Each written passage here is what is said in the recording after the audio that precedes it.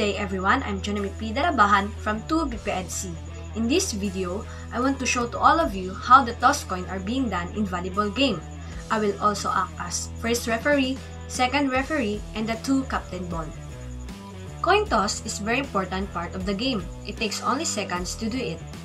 I have here a coin, and as you can see, there are two sides.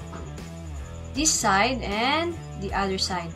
This side is what we call head and the other side is tail. And in the volleyball game, there are two teams, which is the team A and the team B. And toss coin are being done to determine which team should serve first. And now, I will act as a first referee. So, we have here the captain ball of team A and the captain ball of team B. And we should ask which side they will choose, the head or the tail.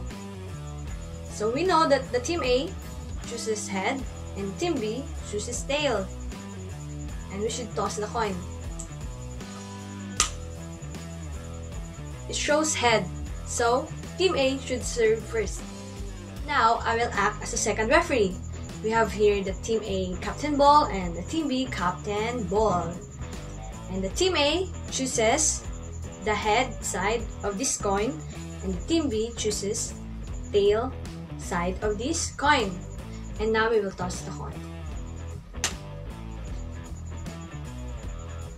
It shows here the tail, so team B will serve first.